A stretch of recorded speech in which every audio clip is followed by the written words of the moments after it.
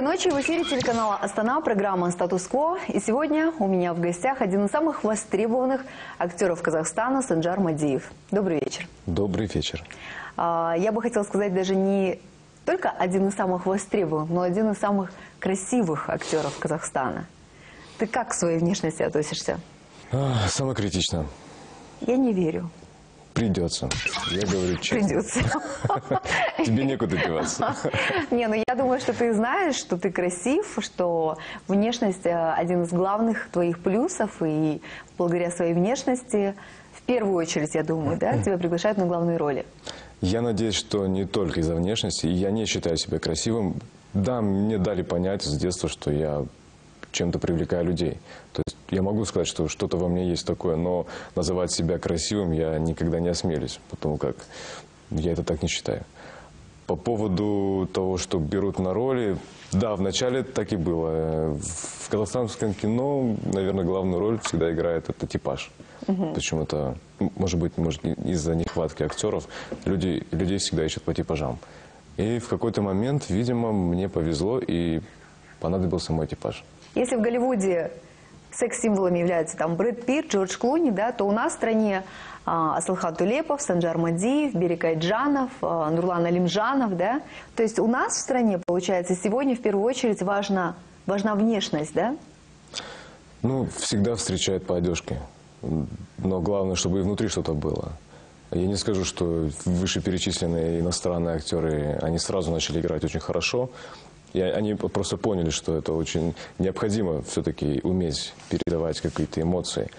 Но Энтони Хопкинс, мне кажется, его игра и, и внешность, ну ты бы не сказала, да, что он самый красивый человек, но харизма у него просто бешеная.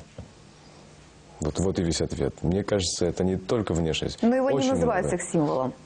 И, ну и хорошо, что это. А тебя называют. Но мне от этого ни холодно, ни жарко. Мне было бы намного приятнее, если бы меня называли бы все-таки актером в первую очередь, а не обложкой. Но, тем не менее, ты говоришь о том, что ты самокритично относишься к своей внешности, и что как будто бы тебя внешность твоя не волнует, да?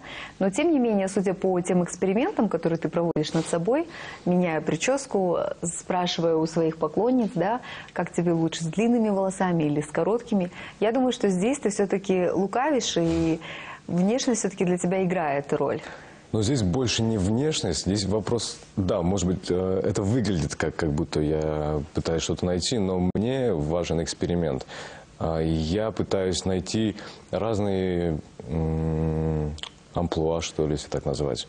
Потому что я актер, и бывает такое, что некоторые режиссеры просто боятся э, экспериментировать со внешностью. И я хочу этим заняться сам, помочь им. То есть, если, им, если они скажут, а вот как, как бы ты выглядел с длинными волосами? Или я говорю, а я вот так. Или и сам я уже понимаю, что это мои волосы, что я, как я с ними хожу, моя уже какие-то, какие-то как body language, да, говорят, уже игра э, руками, там, глазами. Это, это все я не делаю не для того, чтобы кому-то понравиться. Нет, не дай бог, конечно.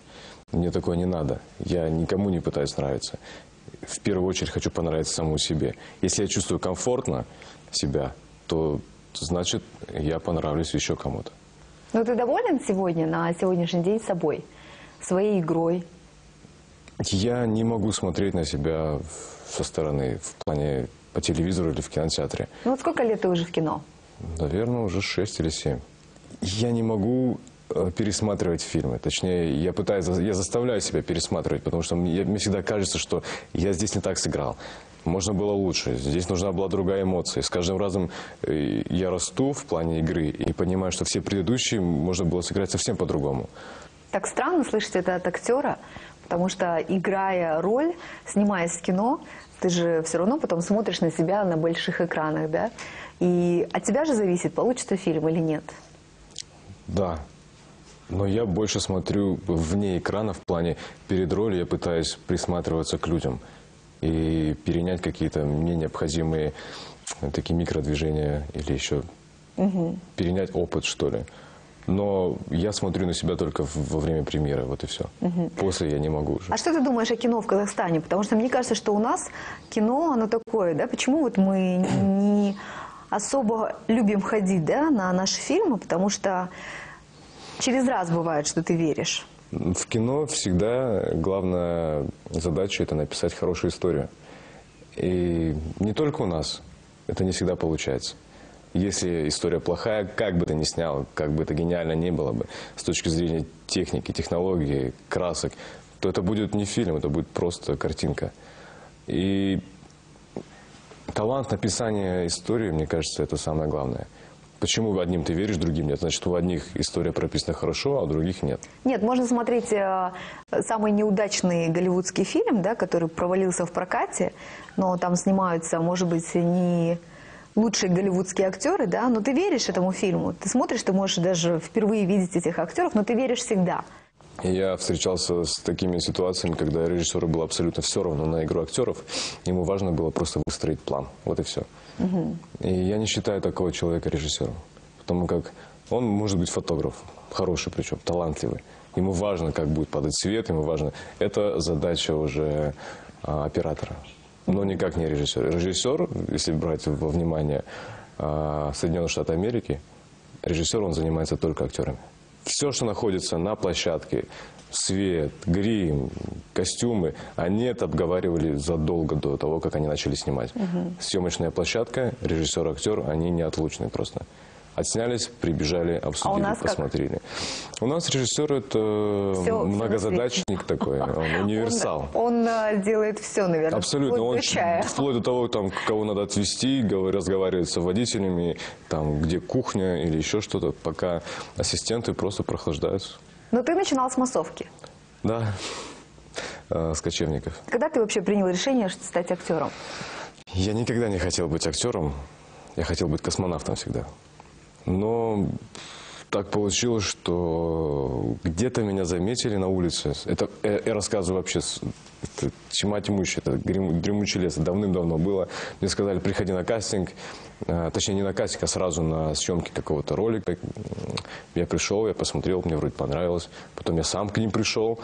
И потом я это забыл, но и мои друзья после этого, они узнали, что я все-таки снимаюсь, и позвали меня на кочевники на кастинг. И меня взяли туда. Побывав на съемках «Кочевников», я возненавидел кино всей своей душой просто. Потому что я играл массовку в жару, а, с нами обращались хуже, чем с животными. При этом я узнал, что мне платили в два раза меньше, чем надо было. Кто-то себе отстегивал свой процент. Я сказал, я в кино больше ни ногой. Но при этом тем ребятам, которые были со мной, я говорю, или я ухожу из кино, или меня будут так же возить, вот как в этом белом джипе с кондиционером, и будут кормить фруктами. Они посмеялись все. И потом я, наверное, года четыре вообще не был в кино и никогда не видел камеру И до тех, до тех пор, пока случайно не попал на фильм «Обратная сторона». И с тех пор я понял, что это все-таки мое, так как судьба меня пытается толкать, какие-то Но ты уже знаки. едешь на белом джипе с фруктами? Серый джип. Ну, возит, да, тебя на джипе? Да. В нашей стране актеры могут хорошо зарабатывать? Нет. Хорошо жить Пока нет. с титулом звезды? Титул «Звезда» — это вообще отдельная история. Так обычно называют, когда хотят что-то сделать бесплатно. Они говорят, «Пф, ну, друзья, ну вы же звезда, ну вы же вот народ же, да давайте вы сделайте бесплатно, а?» Только тогда все. И в других моментах кто? А, да что, у нас нет звезд, и что?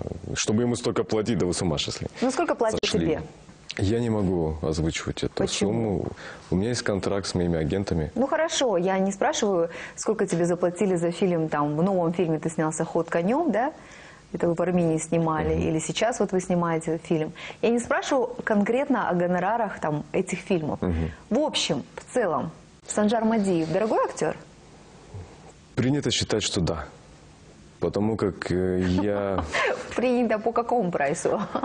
Потому что мне об этом как-то доносят, о том, что вы же все-таки дорогой актер. Я говорю, кто так решил? Кто-то кому-то что-то сказал, но я смотрю всегда от фильма, от его бюджета. Если бюджет позволяет, и эта роль действительно того стоит, и я там делаю не только актерскую игру, я и делаю какие-то э, физические упражнения. То есть э, то, что, может быть, должен сделать дублер, но это делаю я, то это, конечно, отдельная плата. В случае, если фильм малобюджетный, я всегда пойду на уступки. То есть деньги это не самое главное, но ты все-таки должен на что-то жить. У актера нету никаких пенсионных отчислений на, на сегодняшний день.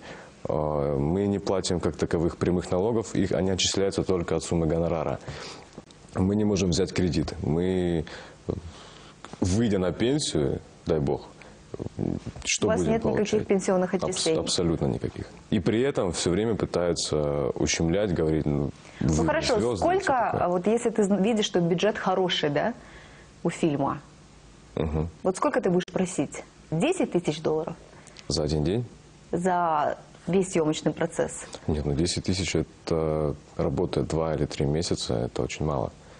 В среднем я знаю, что в Штатах массовка получает 500 долларов за съемочный день. А у И- нас У нас 500 долларов не получает даже главный актер в день? в день. А сколько у нас в день получает главный актер? В среднем, может быть, 200 долларов. Сколько обычно вот э, длятся съемки? По закону 12-часовой рабочий график. В итоге 20-часовой получается. То есть переработка жуткая. Ну вот мне интересно просто, сколько ты зарабатываешь? Не так много, чтобы позволить себе купить домик на Майами. Даже на билет до Майами. А сколько тебе лет сейчас? 27. 27 лет э, в нынешнее время многие молодые парни возглавляют банки, да? Это мои друзья, многие национальные компании, да, то есть и зарабатывают очень большие деньги. Как насчет мужских амбиций? Не обидно, что ты в 27-летнем возрасте не можешь себе позволить там лишний билетик на Майами, да? Обидно, безусловно, обидно. И, и, как я и сказал, эти многие ребята, эти директора, мы с ними начинали в финансовой структуре. Я магистр финансов по образованию и работал в банке. И этих ребят я встречаю. Мы, мы пытаемся сейчас встречаться, чтобы не забывать друг друга. Но, конечно, все что приходится платить. Они платят своим здоровьем, чтобы заработать эти деньги. Я тоже трачу свое здоровье, но у меня это узнаваемость, которая впредь дает мне еще работу и еще работу. Но я выбрал себе такую роль, в роль актера. И Я пытаюсь, конечно, изо всех сил изменить ту структуру, ту, ту советскую структуру, где актеры уходили на пенсию, будучи нищими. Я этого не хочу. У меня были переломные периоды, когда я просто хотел уйти из кино, навсегда захлопнуть дверь, причем громко захлопнуть и сказать, что все, мне это не надо уже. Спасибо, до свидания. Но потом эм, меня судьба все равно пыталась сказать, подожди, подожди, подожди, еще не время, еще не время. Приходили новые проекты, и один лучше другого. Но, к сожалению, к сожалению, менталитет или, может быть, просто жадность человеческая, она не дает другому разбогатеть. Я не понимаю, в Казахфильму выделяются большие деньги. Бюджет э, каждого фильма, который снимается у нас в стране, ну, это такой внушительный, да, то есть суммы, мы же знаем суммы, да, мы знаем, какие кассы собираются. Я не могу понять, почему наши актеры, у меня была Асель Сагатова, твоя коллега, да, которая сказала, что мне, в принципе, без разницы, да, сколько мне будут платить, мне самое главное, чтобы роль была, чтобы мне было по душе. Я просто думаю, что, может быть, это ваша вина, что вы сами всегда идете на уступки и говорите, вот если мне роль понравится, я готов. Но здесь не все так просто. Я не иду на уступки, если того не требуется. К примеру, если мне нравится роль, и мне говорят, что такая сумма, я говорю, давайте больше, все равно, в любом случае. Для этого я нанял своих агентов. На меня работают люди, которые мне ищут роли, они договариваются только юридически, всю финансовую сторону они берут на себя, потому что это лишняя морока, и я, я не хочу думать о деньгах, когда я работаю. Но Ну, я скажу, что это очень э, интересно вообще иметь агента у нас в Казахстане. Учитывая, Я- сколько фильмов у нас снимается в год. В том-то и дело, что я их нанял не для того, чтобы искать только в Казахстане. Потому как э, я, наверное, был один из первых, кто вообще нанял агентов. И когда мне звонили режиссеры... Агенты, которые работают у нас в стране, или это какие-то Здесь международные нет, агенты? здесь, но у них есть да? выходы уже на То есть они тебе ищут роли по всему миру. Да, Ты учился в Нью-Йоркской академии кино да. Мгм. За счет Казахфильма. Первый раз, да. Второй раз э, за свой счет. Чему ты там научился? Верить в кино. Я не скажу, что там колоссальный тебе дают опыт за то время, которое я там проучился. Но в плане духовного это просто безгранично. ты живешь кино. Ты видишь кино, ты чувствуешь кино, ты трогаешь кино. И вернувшись сюда, уже, наверное, прошло три или два года, два, наверное, или три года, до сих пор этот энтузиазм во мне еще не угас. Потому что я видел, как работают правильно. Я видел, как люди получают за это деньги. И я хочу, чтобы И как работает нас- эта машина, да? как работает. Это индустрия. У нас это пока хобби. Да и даже и хобби сложно назвать. Это Нет, так. почему? Кто... Баян Синтаева считает это не хобби, она на этом зарабатывает деньги. У меня, для меня это работа. Но для кого-то это просто хобби. То есть человек заработал деньги ну, на какой-то другой индустрии, там, металлургии или еще что-нибудь, нефть, и решил снять фильм. Все, он снял его, ему это понравилось, и он начал дальше снимать. Но вникнуть в сам процесс – это совсем другое. Но не было попыток остаться там, в Америке? Попыток, попытки были, конечно, но не, не такие, чтобы уйти с головой и сжечь мосты. Точнее, и попытка до сих пор есть. У меня там очень много друзей среди продюсеров и режиссеров, актеров, но там надо жить. Там надо жить, надо основательно остаться, как минимум года два, и все время пытаться идти на кастинги. Если ты будешь здесь и отправлять им туда свои резюме, они... А что мешает остаться там, жить два года, ну, то есть добиться своей цели? Это такой шаг очень опрометчивый. Почему? То есть, тогда ты теряешь все здесь. Пока здесь а что есть ты теряешь работа. здесь, скажи мне? Работу? Там не факт, что То ты есть, если работу. Санджара Мадиева сейчас не будет в Казахстане, твою, твою нишу кто-то займет. Естественно. Да не то, чтобы даже займет, но я думаю, я уже никому здесь не буду нужен. И там я никому не нужен, и здесь никому не нужен. Это уже два раза никому не нужен, это уже плохо. А казахстанский кинорынок не тесен для тебя? Ну, всегда есть такая тоже человеческая жадность, но в хорошем плане этого слова, что хочется всегда больше, хочется все время расширять границы. Я пытаюсь расширять границы. И благодаря фильму армянскому, который выходит вот скоро, э, я еще раз поверил в себя, что все-таки не только в Казахстане я могу быть э, известным, но и за пределы уже СНГ. И все-таки Европа, Запад, Китай, я надеюсь все-таки развиваться туда. А российский рынок? Российский рынок, здесь слишком щепетильная такая ситуация, что выходцам из Средней Азии намного сложнее, нежели славянам. То есть я не скажу, что это невозможно, но это надо, наверное, положить свою жизнь, чтобы добиться чего-то в России. И при этом я не скажу, что там люди зарабатывают очень много. И я не скажу, что я там кому-то нужен, опять-таки. Но мне знаешь, что нравится? Вот я ходила на спектакль Сергея Безрукова в Астане. И я поняла, что российские актеры, они в основном играют в театрах. Да. И изредка в кино. Наши актеры в театрах не играют. Ну, разве что Азамат Сатыбалды. Берег Айджанов. Берег Айджанов, да. То есть ты, Асель Сагатова, Карлгаш Мухамеджанова, вряд ли вас можно увидеть на сцене. А у Уэзовского театра, Лермонтовского. Ну, конечно. Почему? Ведь театр очень многому учит. Он учит, но я бы сказал, это две разные системы игры. И порой люди немножко не понимают того, что в театре ты утрируешь много, а потом это показываешь на телеэкране, и это не всегда смотрится хорошо. То есть ты думаешь, что Сергей Безруков переигрывает в своих фильмах? Бывает. Не скажу, что всегда, но иногда бывает. Я не скажу, что я лучше играю. Может быть, коем вам случае. просто вот новому поколению хочется быстрой славы, да? Я не рвусь за славой. Я Ну не- неужели известность э, для тебя не главное? Известность это то, что дает мне работу. Вот и все. А работа дает мне деньги. Я выбрал эту работу, я пытаюсь сделать все, чтобы у меня была постоянная а, буханка хлеба, и, может быть, и не одна. Хорошо, а в театры ты ходишь? В театр ходил. а, ну, мне...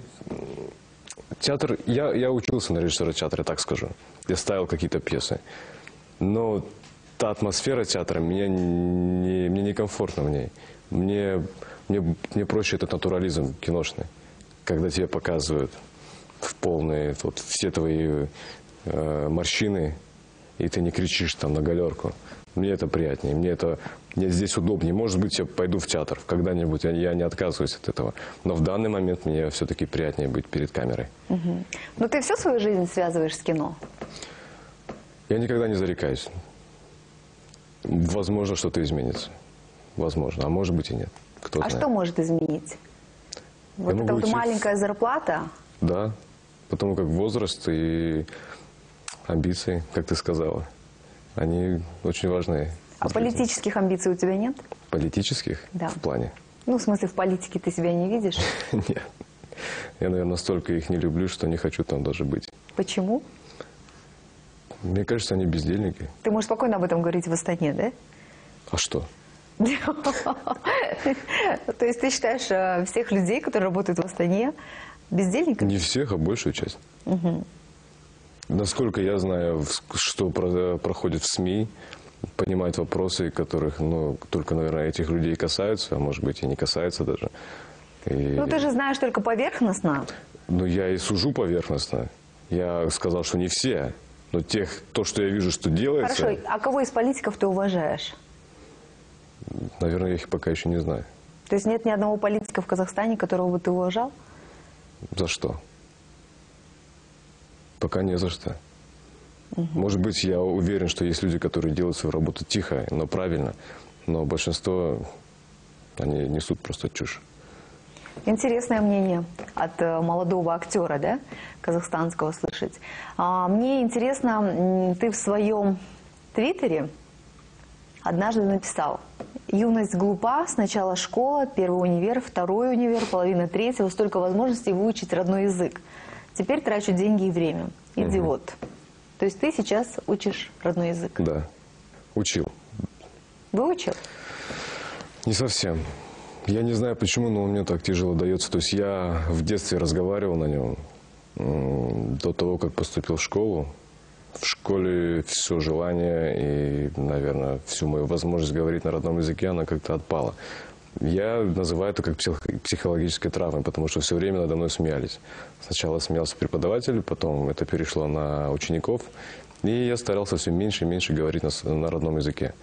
Э, Сейчас я переборол этот страх, но мне, всегда, мне почему-то легче выучить другой язык. Потому что разговаривая на чужом языке, надо мной не будут смеяться те люди, на котором они разговаривают. Но тем не менее, тебе наверняка хочется сниматься и в казахских фильмах. Несомненно.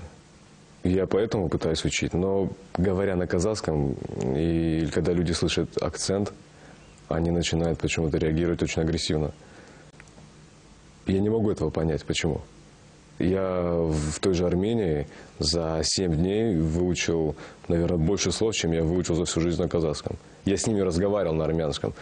Они были просто шокированы тем, насколько я быстро изучаю языки. Я выучил стихотворение на армянском про Армению. То есть мне это было несложно. И даже когда я говорил с акцентом, они меня поправляли, но они мне говорили, зачем ты так говоришь, зачем ты так говоришь, ты же там, ты иностранец, не говори на казахском там на армянском. Здесь я это слышу повсеместно. Какая-то агрессивная идет энергетика от людей. То есть мы тебя в казахскоязычных фильмах не увидим? Почему нет? Увидите рано или поздно.